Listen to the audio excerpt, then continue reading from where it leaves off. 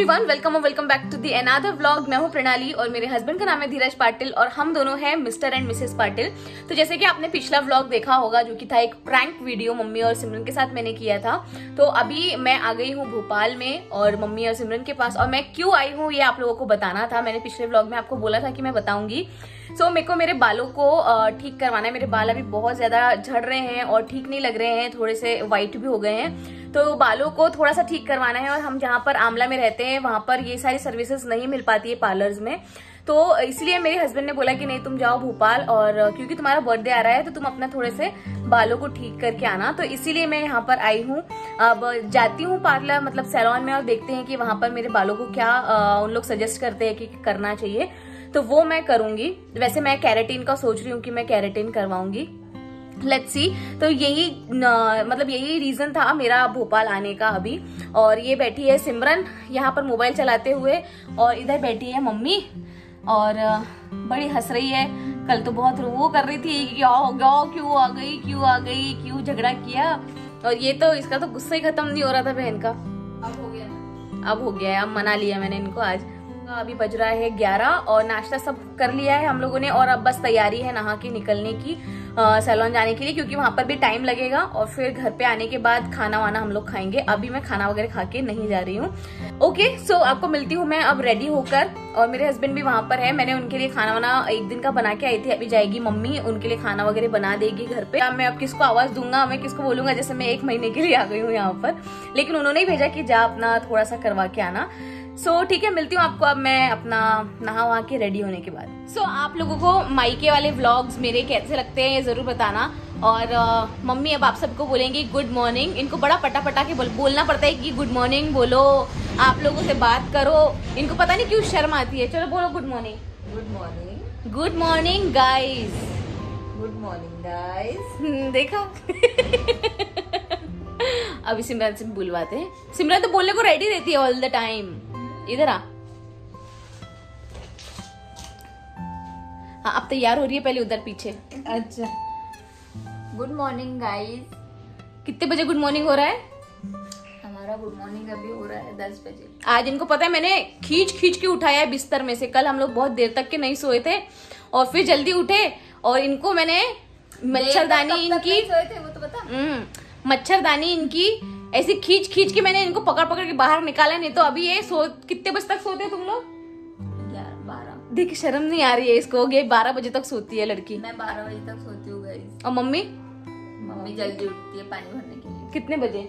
जल्दी मतलब साढ़े सात आठ तो सात आठ बजे इनकी गुड मॉर्निंग होती है और इनकी होती है बारह बजे। बारह बजे। शर्म नहीं आ रही बारह बजे आफ्टरनून हो जाती है। हाँ तो आफ्टरनून होने के पाँच मिनट पहले मैं उठ जाती हूँ मतलब गुड मॉर्निंग में। अच्छा। कौन कौन है इसके जैसा? कमेंट्स में ज़रूर बताना। और इनको कितने बजे उठना चाहिए ये भी कमेंट में बताना। चलो अब मिलती हूँ मैं आपको नहा वहा के रेडी होने के बाद। गाइस मैं रेडी हो चुकी हूँ नहा धो के अच्छे से फ्रेश हो गई हूँ। कैसी लग रही हूँ आप लोग बताना। और अभी फटाफट निकलते हैं क्योंकि बहुत टाइम हो चुका है और वहाँ पर अब क्योंकि सैलून भी वैसे लेट खुलता है ग्यारह बजे तक तो अभी हम लोग साढ़े ग्यारह हो रहे हैं अभी निकल जाते हैं फटाफट। ये क्या हो गया अभी निकलते निकलते? ये ना परफ्यूम की बॉटल थी। परफ्यूम की बैंड बजा दी सिमू ने।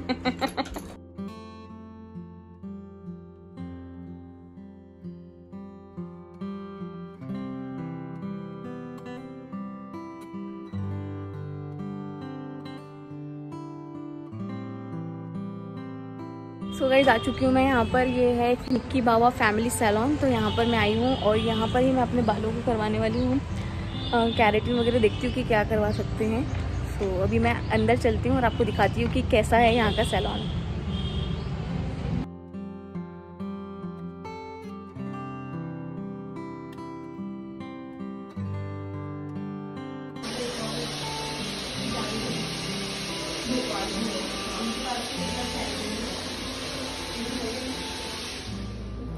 बहुत तकलीफ़ में बहुत झल रहा है स्ट्रेट लुक तो नहीं चाहिए। स्ट्रेट लुक चाहिए। हाँ चलेगा स्ट्रेट मतलब आप सजेस्ट तो हम लोग आ गए हैं निक्की बाबा जो सैलून है यहाँ पर, और यहाँ पर तो यार बजट से बाहर मेरा जा रहा है। मतलब सिक्स थाउज़ेंड सेवन थाउज़ेंड ऐसा हमने सोचा था फोर थाउज़ेंड तक हो जाएगा बट वो हो नहीं पा रहा है। तो ठीक है, अब करवा लेती हूँ, देखती हूँ कैसा होता है, आपको भी बताऊँगी फिर। कि क्या बालों के लिए सही है क्या सही नहीं है।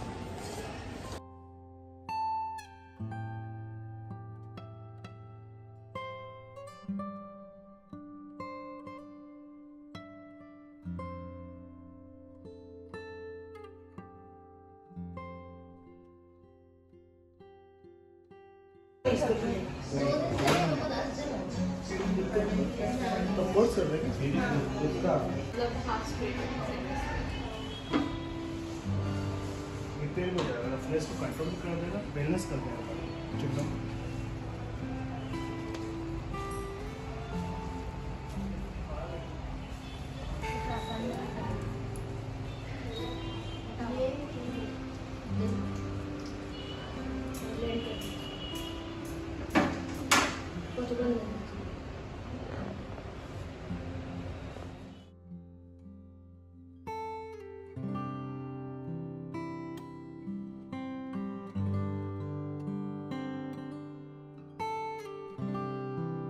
सो अभी उन्होंने ऐसे कुछ कुछ मेरे सिर के ऊपर पन्नियाँ लगाई है गाइस ये उनकी ट्रीटमेंट का एक प्रोसेस है. तो उन्होंने अभी आ, मेरे बालों में वो लगाया है. क्या बोलते हैं उसको? मैं भूल गई. बताऊँगी याद आएगा जब बताऊँगी. और इधर ये बैठे हैं दोनों जन. बेचारा जो करवाता है ना वो तो अच्छे से बैठता है क्योंकि उसको मज़ा आता है. और जो साथ में आया रहता है वो ऐसी शक्लें बना के बैठते हैं. दोनों जन. ऑल्सो मैं ये क्या करवा रही हूँ ना, अभी जो मतलब जो मुझे अटेंड कर रहे हैं भैया, उनको मैं पूछूँगी आप लोगों के लिए कि ये क्या मैं करवा रही हूँ और क्यों ये करवा रही हूँ, ये भी आप लोगों को बताऊँगी। तो मतलब ये करवाने से क्या फ़ायदा है और किस स्टेज पे आप लोगों को ये करवाना चाहिए, आपके बालों के लिए क्या अच्छा होगा, ये मैं उनसे पूछूँगी और फिर आप लोगों के साथ शेयर करूँगी ताकि अगर आप लोग कुछ ऐसा करवाना चाहते हो तो आपकी थोड़ी सी हेल्प हो जाए।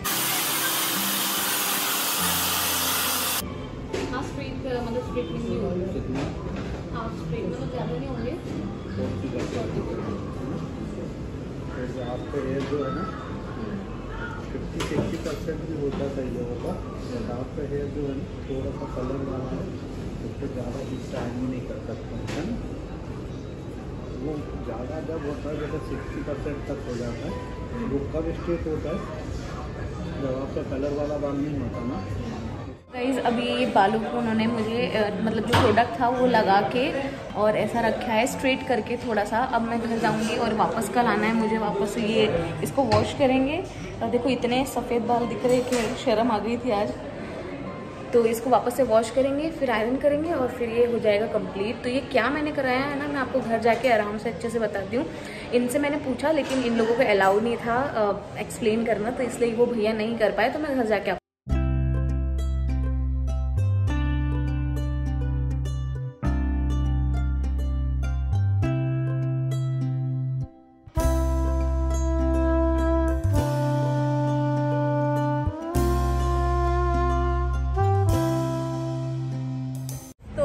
चौपाटी है। एक तो यहाँ पर हम लोग रुके हैं। अब यहाँ पे इन लोगों को कुछ खिला खिला देती हूँ मम्मी सिमरन को। मैं तो नहीं खाऊँगी क्योंकि मैं हूँ अभी डाइट पर।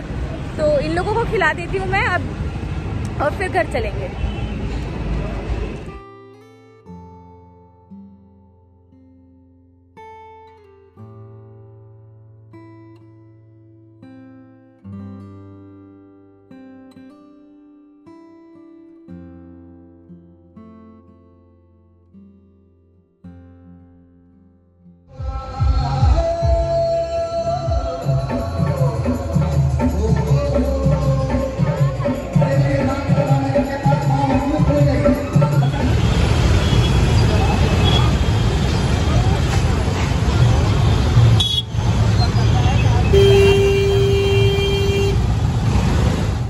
एवरीवन सो आ गई हूँ मैं घर पे अभी और आते बराबर मैंने चेंज वेंज किया, वही वाली अपनी टी शर्ट पहन ली है और आराम से अभी यहाँ पर बैठी हूँ। थोड़ा एडिटिंग का काम कर रही थी और मैंने आपको बताया था कि मैं घर जाके आप लोगों को बताऊँगी कि ये मैंने क्या करवाया है बालों में। तो मैंने ना ये प्रोटीन ट्रीटमेंट लिया है। मतलब मेरे बाल इतने ज़्यादा रफ हो गए थे बहुत ज़्यादा मतलब ड्राई ड्राई हो गए थे क्योंकि ना मैंने हाईलाइट्स करा रखे थे मेरे बालों में और वो इतना गुथ जाते थे मतलब ऐसे कि उसको निकालना मुश्किल हो जाता था इतना भयंकर वो गुथ जाते थे। फिर मेरे जब हम लोग कंगी करते हैं ना तो फिर वो बाल पूरे झड़ते थे इतने बाल झड़ रहे थे मतलब बहुत कंडीशन ख़राब थी बालों की। तो इसलिए ये करवाना बहुत ज़रूरी था। तो इसलिए मैं आज आ, मेरे हस्बैंड ने बोला था कि आप भोपाल में जाके तू करा ले। तो फिर मैं यहाँ पर आके मैंने आज ही करवाया और उन्होंने बिल्कुल कोई चीज़ के लिए मना नहीं किया। हर एक चीज़ में बोला कि हाँ करवा ले करवा ले, कितने का भी जाए बजट कोई कोई दिक्कत नहीं है। तो बस करा ले अच्छे से तेरा, जो भी, जितना भी लग रहा है तू करवा ले। तो फिर मैंने आज ही करवा लिया और इतने सारे वाइट बाल हो रहे थे ना कि ये ऊपर से दिखने लगेंगे अब। तो इन्होंने ना अभी जो प्रोडक्ट मेरे बालों पर लगाया है प्रोटीन का, मेरे को अभी फ़िलहाल उसका नाम याद नहीं आ रहा। मैं कल आप लोगों को ज़रूर बताऊँगी। तो वो प्रोडक्ट उन्होंने लगा के रखा और फिर उसको आ, सुखा के ड्राई करके अभी उसको स्ट्रेटनिंग की है और अभी प्रोडक्ट के साथ ही बाल है। ठीक है? और मैं अभी घर आ गई हूँ। अब मेरे को कल वापस उन्होंने और फिर वापस से ये धुलेंगे बाल धोएँगे और वापस से स्ट्रेट करेंगे। तो फिर वो प्रोसेस कंप्लीट हो जाएगा। तो ये बाल जो रहेंगे वो हल्के से स्ट्रेट भी हो जाएँगे मेरे। ठीक है? तो कैरेटीन प्लस वो एक ट्रीटमेंट है प्रोटीन प्रोटीन ट्रीटमेंट तो वो दोनों चीज़ें इसमें है। ठीक है? तो ये चीज़ मैंने करवाई है तो आ, कैसे लगेंगे? फाइनल लुक तो आपको मैं कल ही दूँगी। अभी तो बस उन्होंने बोला है कि ऐसे सीधे के सीधे बाल रखना है। इसको बांधना भी नहीं है मोड़ना भी नहीं है ऐसा बोला है उन्होंने। कल तक कल तक पानी नहीं लगने देना है। तो अभी मैं ऐसे ही रखूँगी अपने बालों को और कल जाके फिर वापस से धुलवा वगैरह लूँगी सिर। और या और अभी मेरे हस्बैंड भी वहाँ पर है मम्मी खाना वगैरह उनका बना देती है। तो अभी वो खाना भी खा लिए जिम विम भी गए थे ऑफ़िस था दिन भर से तो वो भी खूब थक गए हैं आज। तो बस अभी तक यही अपडेट है। अब घर पे आए हैं। मम्मी बना रही है दाल चावल। आपको दिखाती हूँ कि कैसे क्या, क्या बनाया है और कैसे बनाया है। और बस आज दोपहर में हम लोगों ने खाना बिल्कुल नहीं खाया था। किसी ने भी तो अभी मैं जल्दी से खाना खा लूँगी। मतलब ज़्यादा लेट नहीं खाना है तो फटाक से खाना खा के और फिर आ, सो जाएँगे। हमारे घर का छोटा सा किचन और मम्मी बना रही है। अभी मम्मी ने इसमें रखी है। मम्मी क्या बना रही हो? दाल चावल। दाल चावल। तो दाल पालक है कि नॉर्मल वाली दाल है? अच्छा मम्मी दाल पालक बहुत टेस्टी बनाती है। बचपन से हम लोगों को बहुत पसंद है तो मम्मी ने बनाई है दाल पालक और इधर मम्मी ने रख दिए हैं चावल। थकी नहीं? हाँ। खाना आप खाना वाना खा के सो जाना सीधे। ये क्या कर रहे हो? दाल? कल कुछ और बनने वाला है ना? कल भी कुछ बनने वाला है स्पेशल आपको आपके साथ नए व्लॉग में शेयर करूँगी कि क्या बनाने वाली है मम्मी। गाइस डिलीशियस खाना रेडी हो चुका है मम्मी ने बनाया है। दाल पालक जो कि बहुत टेस्टी लगती है गर्मा गर्म चावल और ये रोटी भी रख दी है रोटी तो मैं खाऊँगी नहीं सिर्फ़ चावल ही खाऊँगी दाल चावल। क्योंकि मैंने आज दोपहर में खाना नहीं खाया था इसलिए मैं अभी खा रही हूँ रात को नहीं तो मैं डिनर बिल्कुल नहीं करती हूँ। अच्छा बना? बहुत थक गई खाना खा ले और सो जाओ फटाक से।